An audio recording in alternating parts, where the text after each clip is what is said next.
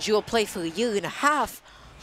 Jewel still got it. They made top six today, so let's see how they how well they do against Ray, who's also been grinding on the Wi-Fi events. Coming back to Palutena as well. This is Jewel's music choice, isn't it? this is this is. That's how you know we're back at Xeno, because only Jewel would pick a song like this. Game number one between Jewel and Utopian Ray. Utopian Ray already going to be getting Jewel off stage, um, but Jewel is able to fight his way back on. Uh, Ray doing a good job keeping it close, using that dash attack to keep him off. Right now they're just both still getting a feel for each other, playing really, really safe. Jules just looking for any openings or catching Dashins using his Thunder and Elthunder. Um, it's been doing a really good job of just catching a lot of grounded approaches from Ray so far. So he's going to have to start mixing it up with dash shields and uh, start jumping in a little bit more. Yeah, Ray has a fast enough character to catch Jewel on their zoning setups, as uh, Jewel would prefer to use the quick Thorons and the lightning just to keep him away. Oh, but Jewel oh, gonna be trying to get the two frame. The fear. Yeah. the fear would have definitely influenced my teleport angle there. I got either two frame or ISD there as well, so. Um, I was like, checkmate.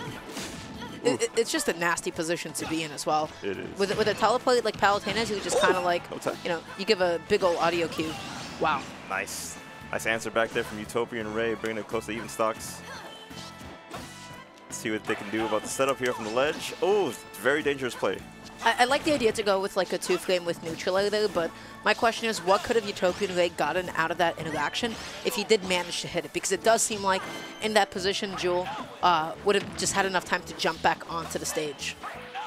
There could have been a chance that Ray could have clipped the jump again, because the positioning is mm -hmm. good for Ray if they got the hit. So it's, it's, not it's not a bad idea to go for. Like edge guarding is, is really important for for people who who like to survive in this game. Ooh, Jewel gonna be catching Utopian Green all that end lag after the neutral air dodge. Um, such a dangerous position to be in as well. Because if you don't air dodge, you do end up getting hit by up If you do neutral air dodge, uh, you can get tracked if Jewel is quick enough. And you know what? He was. Nice, nicely done. All right, back to even again. Good yeah. parry. Ooh, is Utopian going to be able to find this back heel? He is not. Um, it's a little bit tight to get. And the, the tome, the tome actually gave Jewel enough opening to be, uh, you know, getting back onto the stage. Granted, Ray is going to be setting up a juggle once again. Keeps on going off stage for these two frames uh, with neutral air, but oh, wow, because because he committed, he got he ended up getting back hit. I feel like one of the most scariest spots would be mid-range against Palutena as they can jump in with that nair or snipe with the with the fire. So it's good on it's good on Jewel to, to notice like the spacing and space a good button there to catch Ray uh, running in at one point. Getting this nice lead, taking it slow, slowing on the pace of the match just to just to control the game more. See if they can take this. Oh. Yeah, Ray, Ray the way that Ray jumped off stage, uh, up until this point, he's been consistently jumping off with like a gun off neutral. Um, and this time he ended up fading back to the stage, and Jewel was just not ready for that option. But look at all of these thunders coming from Jewel. Such a good way of an interrupting. No! Oh, no. Pineapple. Pineapple. That's two of, that's two. Yeah. Two of those stocks were SDs. Quite unfortunate. Yeah. Well, the first one was like like a checkmate situation. Like either they were gonna get two framed, or they had to like yeah. angle in a weird way just so they could not get hit by that down smash. But this one was definitely just getting pineapple, unfortunately. Mm-hmm. Positioning, hard to keep up with when you're getting pressured from the ledge like this. This is a good spot. This is a good spot for Jewel. Just take control of the ledge with that, that arc fire. Those, those it's Robin at ledge. You're getting ledge trapped by Robin. you can get two frame by arc fire. You can get confirmed, uh, you know, you can follow up arc fire into any of the projectiles it's just a nasty position to be in. So if you're already at the ledge against uh, against Robin like that, you've already lost. And now you have to guess uh, to be able to fight your way back on. So game number two between these two.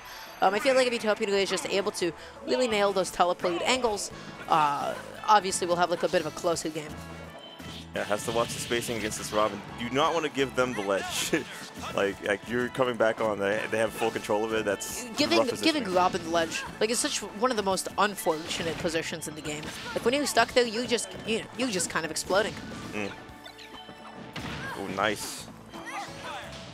This is a, a lot in place. Look at that grab. Who trying to catch a jump out of the shield, but Utopian Ray maybe a little bit too slow, was not able to get the height that he needed in time. Jewel able to still make it back onto the stage and is now looking uh, to catch, uh, you know, just to catch Ray jumping good about now. Ooh, wow. Jewel's moving right now just to avoid like this, the micro spacing on, on their play right now just to avoid all Look at of. Ray's like buttons. It's really good. Jewel is so confident in uh, in that down smash as well. He knows how to whittle away your options until you have to go recover from low, and then he already has it built into himself. He knows that timing by heart to be able to find that two frame. So, wow, he just there is so little that you can actually do in that kind of position. And there's a good escape there from, from Jewel. Now okay, still alive. Still somewhat in a good spot. Has to survive from the ledge here. The aggressive forwarder to come back in, but no confirm there from Ray. I see something get this kill here. Uh, Jewel is playing so patiently. You see he's not trying to fight his way back on, but you got to remember just how laggy of a move Arcfire really is. Um, especially out of the corner, Oh, that is a gambit. That's that angle mix-up. that was a good delay there from Utopian Ray just to recover. Because that Yep. was like more damage or possibly courage for them. But that was also a good kill. Bringing it back to even again. See if they can space out that invincibility from the Angel platform. The, the thing is, in that kind of position, it's impossible to react to the angle that the opponent um, actually travels. You only know are they going to be teleporting here or not, and then your muscle memory. That's when your reaction time really comes into play, and you're able to get that two frame. But you don't have the, you don't have like the capacity in the moment to be able to make the decision. Oh, they went high, they went low. It has to be a guess. Very true, very true. It's also important to like get position off certain hits too. So Ray can right now make it like very uncomfortable like for for Jewel to get it. Like they get the hit, they get knock them away with the forward tilt sometimes. And Yep. then start like gaining control there of the stage. Ooh, like Jewel did just now, just getting this hit confirmed, but not gonna kill yet. Oh, nice fight back from Utopian Ray, escaping that pressure mm-hmm. there from Jewel. Yeah, I was able to give him enough coverage so that Jewel did not have time to set up a down smash an arc fire. He was just not able to get from A to B quick enough. And now Ray just has to keep on fighting his way back from the ledge, but um, honestly, Robin does not always have the out of shield to be able to contest those buttons. A good catch with that up air, but still not taking control of their hits. Losing that stock. Jewel looking to take this set here from this one stock away. Yeah, and, and Jewel also has just not been playing a lot of Smash over quarantine like that period. Um, so it's really exciting to see him still be able to go in and have such an amazing showing so far. Um, he's just controlling the set. He has so much confidence. He has so much momentum. But now the trick is, how do you get past Palutena down tilt to get ledge? Uh, must have had some secret training or like the fundamentals just like stayed dormant within that whole year just to come right back and be this strong here in top fours, you know. Oh, what nice a deflect. Such a good catch because every single time from that mid-range, Utopian Ray would either jump uh, and then not really be able to punish Jewel in time for going for Elthunder, or he would dash. Uh, that's how he would get keep, you know, he'd keep getting called out by those Thunders and Elthunders. So at that mid-range, Jewel just kept on going with the status quo and was not ready for it. This is a very scary Robin the fight as they are stopping any approach right now. And there though, it's gonna be a good lead for Ray, but Ray is still not getting much of a lead off their hits. Ray is just not finding these openings, but Jewel using the drop tome as a way to cover the space under him. That was that was just really well positioned on his part. Ah, that was such a good wait for him. Oh, oh. Oh, wow.